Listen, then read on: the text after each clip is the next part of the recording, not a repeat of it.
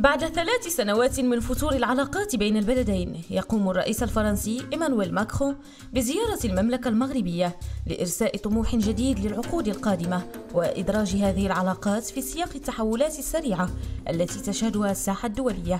ومن المنتظر أن يحضر الرئيس الفرنسي وزوجته باستقبال رسمي من طرف جلالة الملك محمد السادس مساء يوم غد في ساحة المشور كما سيجري مباحثات مع العاهل المغربي بالقصر الملكي بالرباط.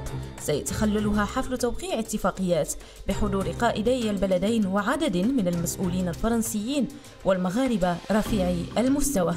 وسيقوم ماكرون وحرمه خلال اليوم نفسه بزيارة إلى ضريح محمد الخامس بحضور محمد اليعقوبي والي جهة الرباط سلا الخنيطرة عامل عمالة الرباط. قبل أن يتوجه إلى البرلمان حيث سيلقي خطابا أمام مجلسيه في جلسة مشتركة ليجري بعدها لقاءات مع مقاولين فرنسيين ومغاربة إضافة إلى مهتمين بالصناعات الإبداعية بالجامعة الدولية بالرباط.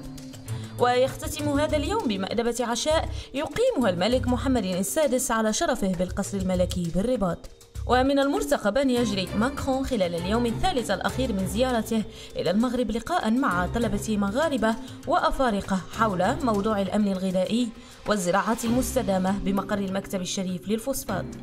قبل أن يلقي كلمة موجهة إلى الجالية الفرنسية المقيمة في المملكة المغربية وسيكون الرئيس الفرنسي مرافقا بوفد رفيع المستوى يتكون من عشرة وزراء على رأسهم برونو ريتايلو وزير الداخلية وجون نويل بارو وزير الشؤون الخارجية إضافة إلى سيباستيان ليكورنو وزير الجيوش ورشيدة داتي وزيرة الثقافة إلى جانب كل من وزير الاقتصاد والمالية ووزير التعليم العالي والبحث العلمي ووزير الفلاحة والسيادة الغذائية.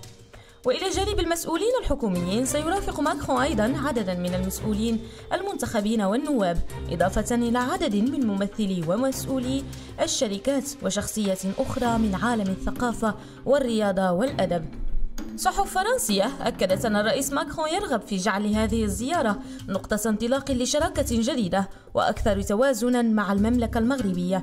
مسجلة أنه إلى جانب القضايا الاقتصادية. ستحتل القضايا البيئية والثقافية والتعليمية والتكنولوجية. حيزا مهما في أجندة هذه الزيارة. ورجحت الصحف عينها أن يوقع البلدان خلال هذه الزيارة عقودا بأكثر من 3 مليارات يورو منها توقيع صفقة لتزويد المغرب ب 12 طائرة مروحية من طراز كاراكال تتراوح قيمتها ما بين 600 و 800 مليون يورو إضافة إلى إمكانية بحث حصول الجيش المغربي على غواصات فرنسية الصنع فهل تتوج هذه الزيارة بفتح فرنسا لقنصليتها بالداخل؟